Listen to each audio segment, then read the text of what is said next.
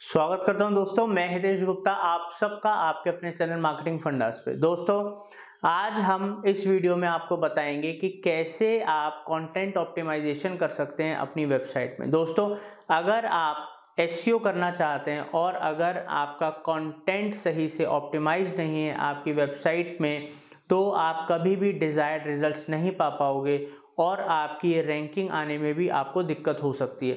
तो दोस्तों, ये वीडियो बहुत ज़्यादा इंपॉर्टेंट है because content optimization in website is one of the most important factor कि अगर आपको एस की रैंकिंग लानी है वेबसाइट की रैंकिंग लानी है तो ये वीडियो ज़रूर देखें और उन सारे स्टेप्स को फॉलो करें इंप्लीमेंट करें अपनी वेबसाइट के अंदर ताकि आपकी वेबसाइट रैंक करे। दोस्तों, अगर आप एस के साथ साथ कंप्लीट डिजिटल मार्केटिंग हमसे सीखना चाहते हो तो आप हमारे चैनल को सब्सक्राइब कर लें और लोगों पर भी शेयर करें बिकॉज़ ऑलरेडी सिक्स हंड्रेड का लेटेस्ट कॉन्टेंट है और इस साल दो हज़ार इक्कीस में हम आप लोगों के लिए लगभग एक के आसपास वीडियोज़ लेकर आ रहे हैं और 30-35 नई सीरीज़ लेकर आ रहे हैं ताकि आप लोगों की डिजिटल मार्केटिंग की नॉलेज और इन्हेंस हो प्रैक्टिकल इन डेप्थ नॉलेज आप लोगों को दें। तो चलते हैं कंप्यूटर स्क्रीन पे और सीखते हैं। डिजिटल मार्केटिंग सर्विसेज़ के लिए या कंसल्टेंसी के लिए आप मुझे कॉल कर सकते हो, हमारी website marketing fundas dot com पर जा सकते हो, या डेली में अगर आपको डिजिटल मार्केटिंग कोचिंग लेनी है ट्रेनिंग लेनी है, मेरे से तो आप संपर्क कर सकते हो।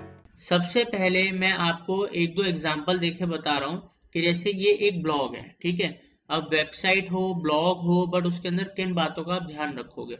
सबसे पहले आपका जो कंटेंट होता है वेबसाइट में, उसमें जो आपकी हेडिंग्स होनी चाहिए, ठीक है? जैसे आप ये एक हेडिंग देख रहे हो, ये बहुत इफ़ेक्टिव होनी चाहिए, ठीक है? आपका जो कंटेंट जो ये लिखा जा रहा है, वो पढ़ने में बहुत क्लियर होना चाहिए, ठीक है? कि इजिली पढ़ा जा सके रीडेबल होना चाहिए। उसके अलावा आपका जो कंटेंट है, वो कीवर्ड टारगेटेड कंटेंट होना चाहिए, क्योंकि आप जो भी कंटेंट लिख रहे हैं और जो भी आप टाइटल्स बना रहे हैं तो उससे रिलेटेड कंटेंट है तो जो कीवर्ड आप एस e में यूज़ करेंगे, वो कीवर्ड ज़रूर आपके उस पर्टिकुलर पेज पे या कंटेंट में होना चाहिए, ठीक है? और दोस्तों, जब हम बात करते हैं कीवर्ड की तो आज की डेट में बिकॉज़ कंटेंट को बहुत ज़्यादा वैल्यू दी जा रही है तो एक पेज पे कम से कम आपका आठ सौ, हज़ार, डेढ़ हज़ार वर्ड से लेके और जितना भी आपके पास अच्छा कंटेंट अवेलेबल है, उतना एक पेज पे होना चाहिए। ठीक है, जितना आप मैक्सिमम कर सकते हो। बट मिनिमम है कि आठ सौ, हज़ार, बारह मतलब जो वर्ड्स हैं, इतने का तो आपका कंटेंट पेज पे होना ही चाहिए। आइडल है, इसके ऊपर हो तो बहुत अच्छा। अब दोस्तों सबसे ज़्यादा कंफ्यूजन ये रहती है कि कीवर्ड डेंसिटी क्या है? कि मतलब अगर हम फॉर एग्जांपल हज़ार वर्ड का कंटेंट लिख रहे हैं, ठीक है, एक पेज पे तो उसमें हम कितने कीवर्ड्स डाल सकते हैं? तो यहाँ पर सबसे ज़्यादा लोगों को कंफ्यूजन है। तो इसका एक बहुत इजी फॉर्मूला है, जैसे कि आप यहाँ पर देख सकते हो, ठीक है, हमने आपके लिए अलग से निकाला है। अब यहाँ पर क्या आ रहा है? पंद्रह का मतलब है पंद्रह keywords divided by 500 words into hundred तो निकल के आया है zero point zero three into hundred ठीक है? ये निकल के आया डिवाइड करके zero point zero three into hundred तो अब दोस्तों, ये तीन परसेंट निकल के आया। तीन परसेंट की जो कीवर्ड डेंसिटी अप टू है दोस्तों, वरना एक, दो परसेंट से लेके मैक्सिमम तीन परसेंट की कीवर्ड डेंसिटी होनी चाहिए। इसका मतलब है कि सौ वर्ड का अगर आपका कंटेंट है तो उसमें एक, दो या तीन मैक्सिमम कीवर्ड्स होने चाहिए, और वो भी ये नहीं कि आप सिमिलर कीवर्ड यूज़ कर दीजिए। जैसे एक मैं आपको एग्जांपल दिखाता हूँ, हम गूगल में सर्च करते हैं लाइक हमने सर्च करा digital marketing course in Delhi ठीक है? अब ये कीवर्ड हमने यूज़ करा। अब हमारा काम ये है बट ऐसा नहीं कि अगर हमारा हज़ार बारह सौ वर्ड का कंटेंट है तो उसमें ये कीवर्ड हम दो तीन बार यूज़ करेंगे। करना सिमिलर टाइप में, जिसमें हमने L S I L S I keywords क्या होते हैं, उसका ट्यूटोरियल भी दे रखा है अपने एस e के अंदर, वो भी आप देख सकते हो हमारे सेपरेट ट्यूटोरियल है। तो जैसे कि हम यहाँ पर आए, और यहाँ पर देखिए, अब digital marketing course in south Delhi digital marketing course in Janakpuri ठीक है? Digital marketing course in Noida या digital marketing course institute in Delhi ठीक है? तो ये कुछ सिमिलर मतलब कीवर्ड्स होते हैं, जो कि हमें गूगल सजेस्ट करता है।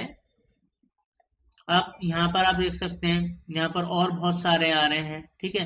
तो इस तरीके से आप, अब यहाँ पर हम फॉर एग्जांपल वो हटा देते हैं एरिया ठीक है? डिजिटल मार्केटिंग कोर्स हमने डाला, ठीक है? अब इससे रिलेटेड और आ जाएँगे। बेस्ट डिजिटल मार्केटिंग कोर्स आ जाएगा, ठीक है? ठीक है डिजिटल मार्केटिंग इंस्टीट्यूट भी आ जाएगा। तो इस तरीके से आपको उससे मिलते जुलते और रेलिवेंट कीवर्ड्स को यूज़ करना है कंटेंट के अंदर, ठीक है? तो इसमें कीवर्ड डेंसिटी का ध्यान रखो। आप कीवर्ड्स भी सिमिलर आप L S I keywords tool का इस्तेमाल कर सकते हो और ऑटो सजेस्ट टूल का इस्तेमाल कर सकते हो या गूगल सजेस्ट होता है। वैसे मैंने यहाँ डाला डिजिटल मार्केटिंग कोर्स अब यहाँ पर ये आ रहे हैं ना अपने आप ही। तो इसको ऑटो एडजस्ट या गूगल सजेस्ट कहते हैं तो यहाँ से भी आप कीवर्ड्स का आइडिया ले सकते हो। है? या फिर आप Google keyword planner free keyword planner है, उसका भी आइडिया ले सकते हो। तो इन चीज़ों का आपको ध्यान रखना होता है। उसके अलावा दोस्तों, जो आपका कंटेंट होता है, अब जैसे आपके पेज पे कंटेंट है, ठीक है? तो आप उस कंटेंट को अगर सोशल मीडिया शेयरिंग आप चाहो लोगों को कि मतलब आप का कंटेंट लोग शेयर कर सके आपके पेज से, अगर उनको अच्छा लगता है तो वो भी आप आजकल सोशल मीडिया शेयरिंग रख सकते हो, ठीक है? अब आप देखिए दोस्तों, जो आपका कंटेंट होता है, जैसे फॉर एग्जांपल हम एक एक वेबसाइट का एग्जांपल ले लेते हैं, जैसे ये एक वेबसाइट है, ठीक है? तो यहाँ पर हमारी जो वेबसाइट है, इसके अंदर देखिए, इसकी जो आप क्लियरिटी देख रहे हैं, चाहे इनके वर्ड्स हैं, जो हमने टाइटल दे रखे हैं, इसका कंटेंट देखिए डिज़ाइन देखिए तो इस तरीके से वेबसाइट बहुत क्लीन होनी चाहिए इजी टू अंडरस्टैंड होनी चाहिए। देखिए, हमने बिल्कुल सेपरेट सेपरेट हेडिंग्स दे रखी हैं, ठीक है? अब यही वेबसाइट मैं मोबाइल के साइज़ में करता हूँ, जिसको हम रिस्पॉन्सिव कहते हैं दोस्तों, ठीक है? मोबाइल का जो साइज़ होता है। अब मोबाइल के हिसाब से देखिए सारा एडजस्ट हो गया, ठीक है? तो इस तरीके से इसको रिस्पॉन्सिव वेबसाइट कहते हैं। तो आपका कंटेंट जब मोबाइल पे, ठीक है, कोई देख रहा हो तो वो भी बिल्कुल क्लियर दिखना चाहिए, उसको राइट या लेफ़्ट या एनलार्ज ना करना पड़े।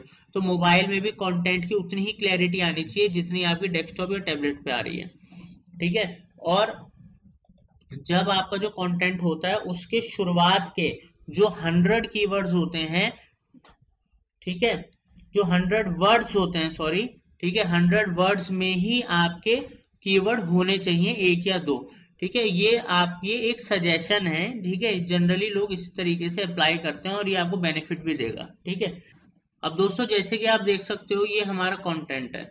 अब कंटेंट में यहाँ पर कुछ आप कीवर्ड्स देख सकते हो लाइक लूज वेट अब है क्या? मैं जब यहाँ पर क्लिक करूँगा और अपनी वेबसाइट के ही मैं किसी और पेज में जाऊँगा जहाँ पर मेरे को इससे रिलेटेड रेलिवेंट कंटेंट मिलेगा तो उसको इंटरनल लिंकिंग कहते हैं, जो वेबसाइट के अंदर ही लिंक दिया जाता है कि और कंटेंट पे जाएँ और उसको, उससे रिलेटेड और चीज़ें और मटेरियल मिले।